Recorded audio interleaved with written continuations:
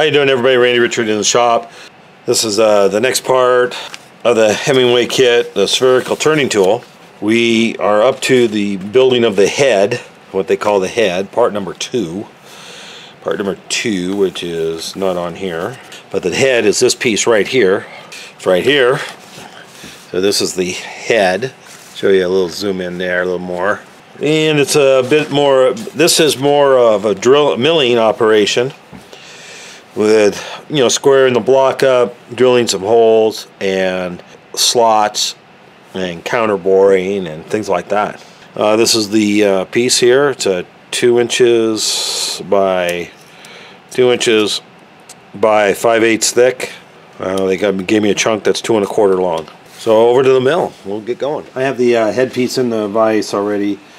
All I did was take one of little stands little squares and hold it up in there tight and squared it up. We're just cleaning up the ends.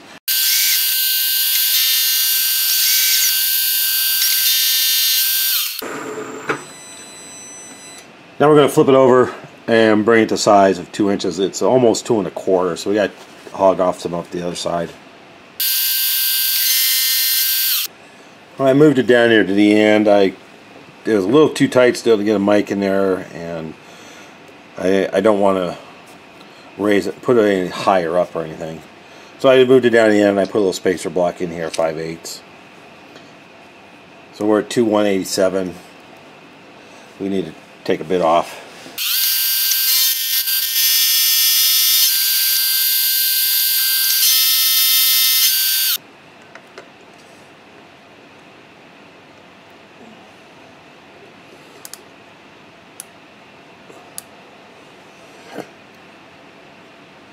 I did two fifty thousandths cuts, and now I was at.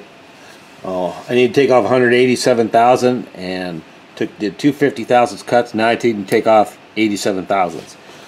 That's uh, sweet.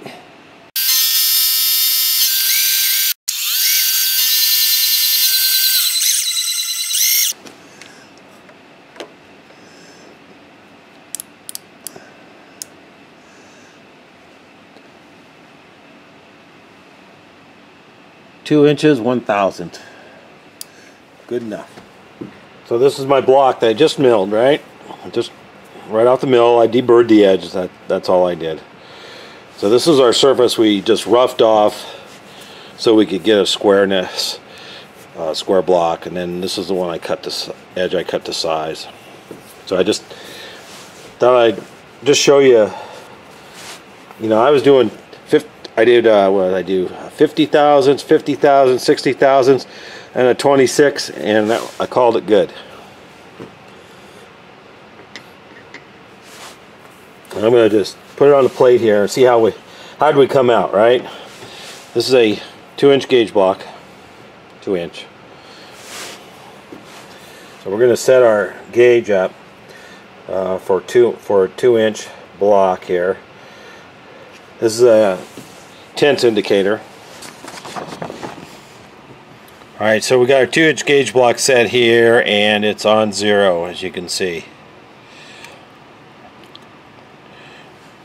To bring my uh, milled block in. So this end here, I'm, I mean it's got a little bit of surface roughness because I was doing it kind of fast. And we're roughly half a thousandths high.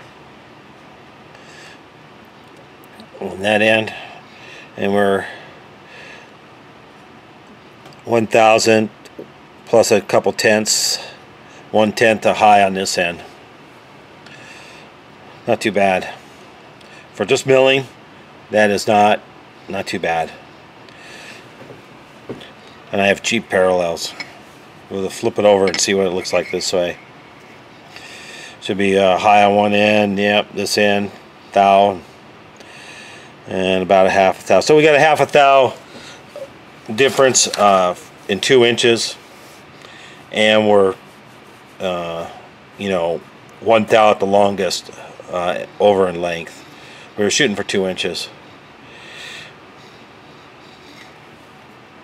I'm pretty happy with that. It's not too bad. Now I have it set up here. Now the edge I have down is the edge I set with stand square. On this this edge here is what it, uh, I set it up with the edge with one of the sides, and then I milled this end. And I just did it with stand square. So we're going to put that side down.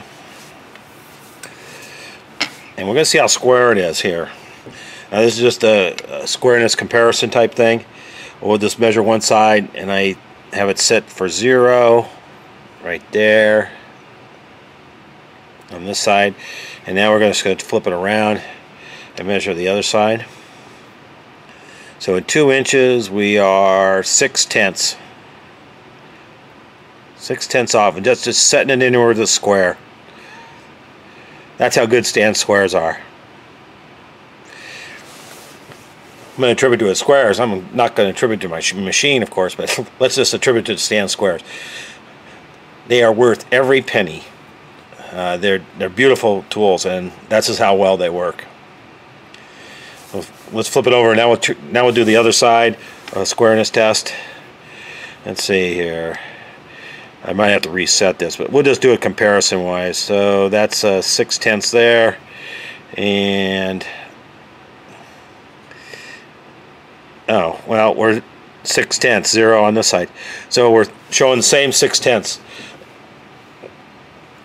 uh, out of squareness with these sides. And I I uh, I checked the parallelness of these two sides before I milled them and they were pretty darn good.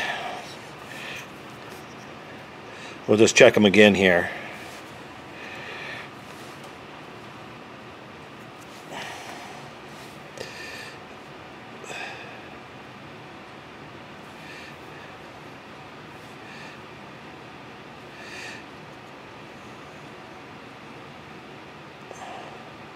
Oh, about one tenth off, maybe. Not not much zero to one tenth, uh, and that's just probably surface roughness. So, not too bad for a parallel, uh, just parallel stock. So this square, this block is not too bad. Half a thou out in squareness. Let's go uh, do some more work on it. I did a little layout on there, but we're going to put a quarter inch hole and then and uh, ream it and countersink it here. Now I'm just going to follow, try to follow the instructions. Uh, use a little spotting drill here.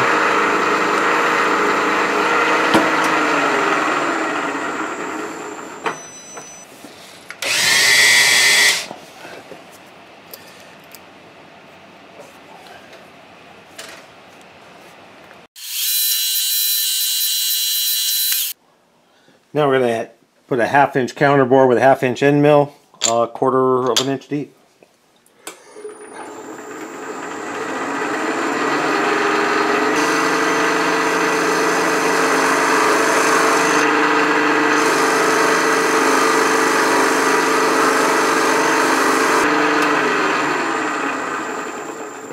Now we're going to ream that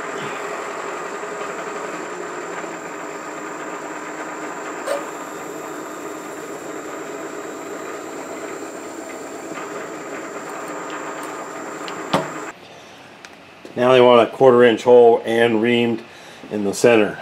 So that's one inch over, one inch over.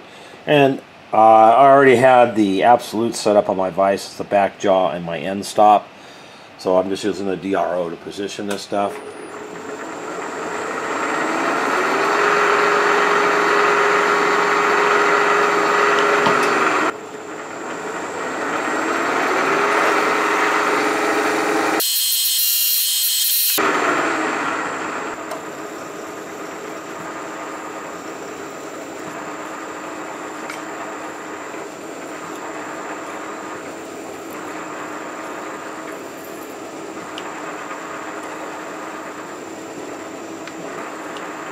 Well, we're done with this this piece for now.